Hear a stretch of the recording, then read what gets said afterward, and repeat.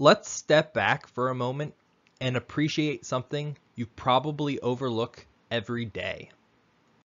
Limestone. Limestone is an incredibly useful rock.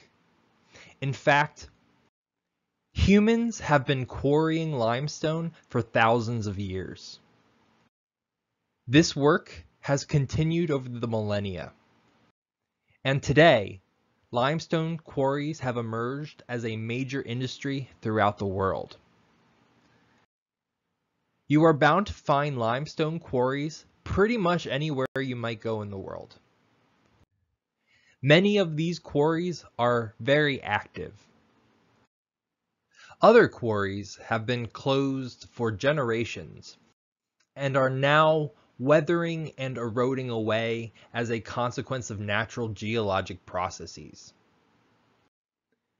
Many of these abandoned quarries, like this open pit mine, are now filled with water and are easy to overlook.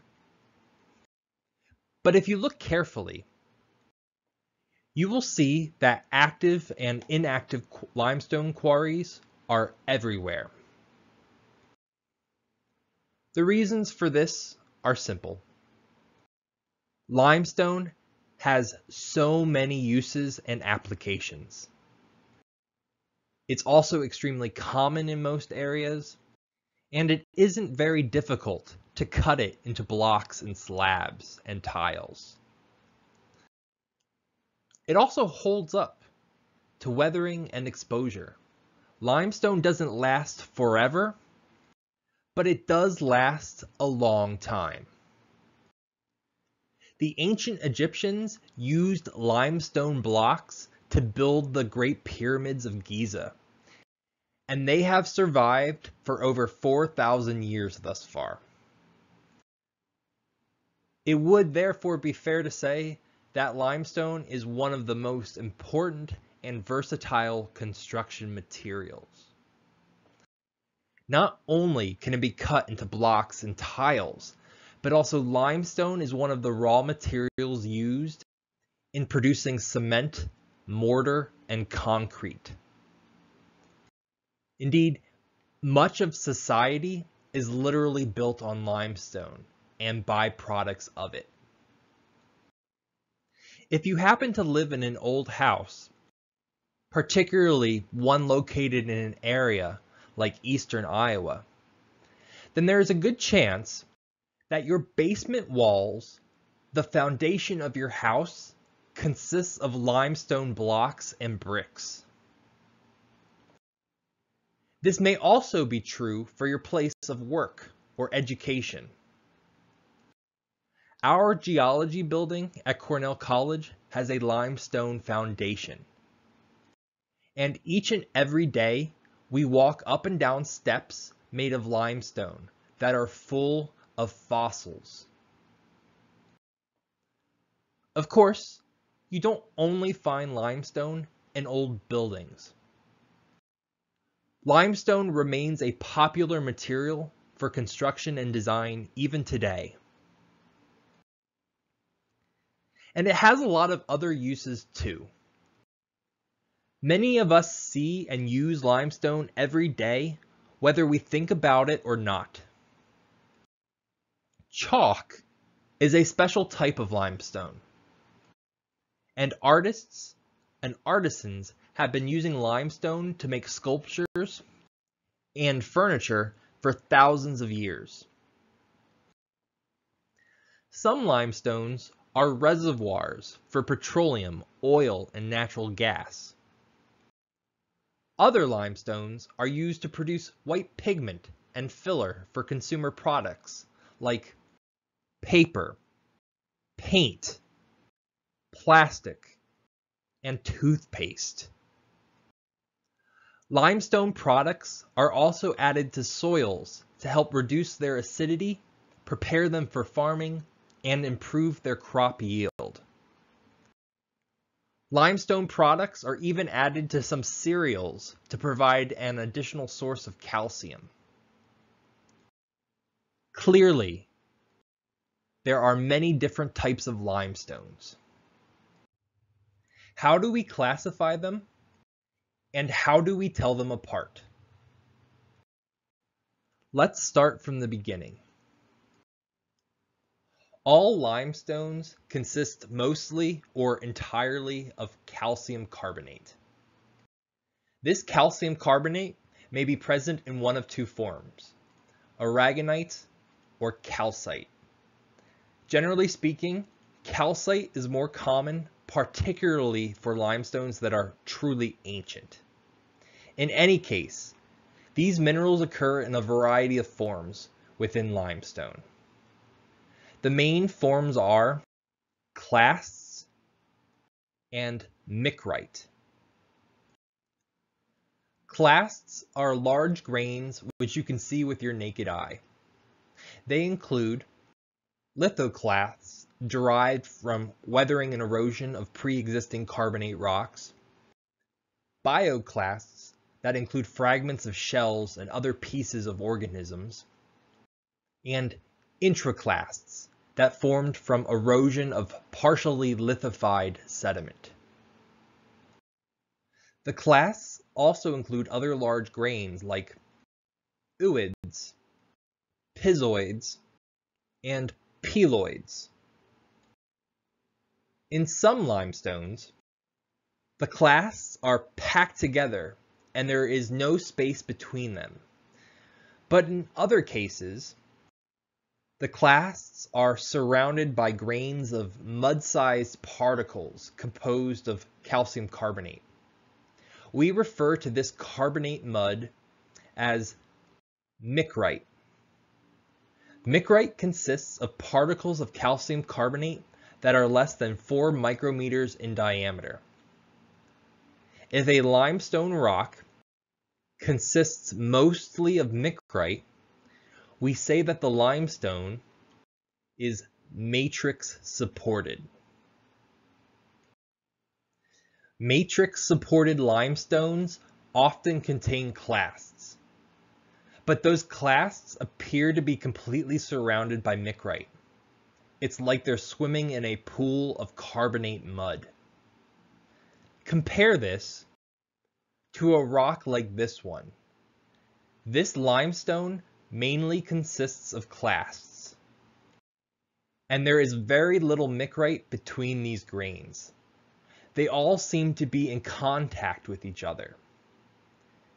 Naturally, we refer to this limestone as clast supported. This distinction between carbonate mud and clasts and between matrix, and clast-supported rocks allows us to classify limestones into a number of categories. The most widely used scheme for classifying limestones was proposed by a geologist named Robert Dunham in 1962. It has been updated and improved over the years as well. Overall, the Dunham classification scheme categorizes limestones based on how much carbonate mud they contain. For example, if less than 10% of the volume of a limestone consists of clasts, and it is dominated by micrite, not clasts, then we call it a mudstone. But this term is a little problematic. Some geologists also use the term mudstone to describe terrigenous rocks made of clay and silt-sized particles of silica. For this reason, when it comes to limestones like this one, it's best to call them carbonate mudstones. If a limestone is matrix supported, but more than 10% of its volume is made up of clasts, then we call it a wackestone. Do your best to avoid confusing wackestones with wackes and greywackes, which again are examples of terrigenous rocks. Wackestones are pretty easy to distinguish from wackes. They're very similar to carbonate mudstones, but they contain more clasts. Moving on, we come to pack stones. Pack stones are, simply put, packed with clasts. They are grain-supported rocks. The clasts touch each other, generally speaking. But pack stones do still contain micrite, just not as much as carbonate mudstones and wackestones. This, of course, isn't true for all clast-supported rocks. Some clast-supported rocks don't contain any mud whatsoever. A grainstone is a clast-supported limestone that entirely lacks mud. The clasts and grainstones are cemented together by clear granular cements made of large crystals of calcium carbonate. These crystals formed between the clasts during the process of lithification. Overall, carbonate mudstones, wackestones, packstones, and grainstones are some of the most common limestones that you are likely to encounter. But there are a few other types of limestone which form in special depositional environments, such as floatstone. Floatstones are essentially limestone conglomerates. At first glance, they are virtually identical to wackestones, but they differ in one key respect. They contain large gravel-sized clasts that are larger than 2 millimeters across. Rudstones similarly contain very large gravel-sized clasts. However, rudstones are more like packstones and grainstones. They are clast supported, not matrix supported. A final group of limestones are called bound stones. Bound stones come in various flavors, but they all have one thing in common. They all form when organisms build and maintain frameworks composed of calcium carbonate. Today, bound stones are being created in reefs by biomineralizing animals like coral. Coral secrete calcium carbonate and build massive frameworks that grow over time and trap micrite in the process. There are various types of bound stones, which differ in their manner of formation.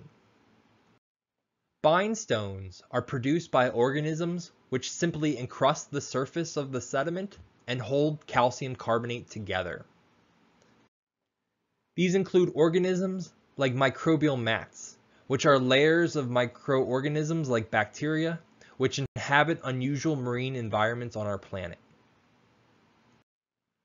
Frame stones, in contrast, are created by organisms that produce large, rigid frameworks that rise above the surface of the sediment.